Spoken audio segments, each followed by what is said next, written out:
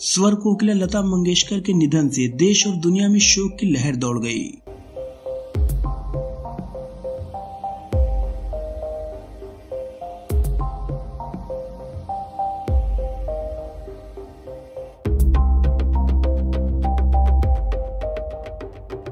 लता जी के जाने से, आमजन से लेकर बॉलीवुड तक, सियासतदानों से लेकर क्रिकेट जगत तक सभी सकते में हैं। मुंबई के शिवाजी पार्क में राजकीय सम्मान के साथ उनका अंतिम संस्कार किया गया इससे पहले पीएम नरेंद्र मोदी शिवाजी पार्क पहुँचे, जहाँ उन्होंने लता दी को श्रद्धांजलि अर्पित की